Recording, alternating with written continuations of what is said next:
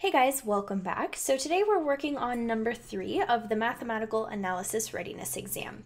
So this question says, a team won three of their first 10 games. If they win the next n games, they will have won 50% of their games. What is the value of n? So this is a word problem where I like to kind of start by considering my answer choices and kind of working backwards to figure out the algebraic setup. So let's just think, let's not over, you know, overthink it and let's just consider answer choice A. So if the team has already won 3 out of their first 10 games and they play and win two more games, that will mean they will have played and won 3 plus 2 out of a total of 10 plus 2 games.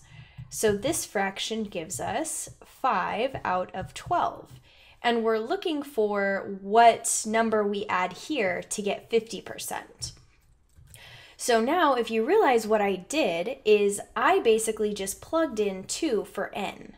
So we can kind of, I guess, extrapolate that for lack of a better word, and we can set this up algebraically as 3 plus n over 10 plus n is equal to 1 half because they've played three games, they're going to win the next n games, and that's going to be out of their total of the 10 they've already played plus the next n that they'll play.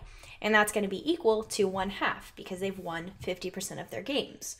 So, I mean, if this part confuses you, you can definitely just try out each one of these answers. It's just that this may be faster. So now what I would do to solve this is I would cross multiply. So I'm going to multiply that way. So I'm going to get 2 times 3 plus n equals 1 times 10 plus n. So over here, I'm going to distribute this in. 6 plus 2n is equal to 10 plus n. I'm going to bring the n over here, so subtract n from both sides. And I'm going to subtract 6 as well and I'm going to be left with n equals 4. So in this case, they will have to play and win four games. So just to, I guess, verify that for you, 3 plus 4 over 10 plus 4 is equal to 7 out of 14, which in fact, which in fact equals 1 half. All right, well, thank you so much for watching. Good luck with your studies, and I'll see you next video.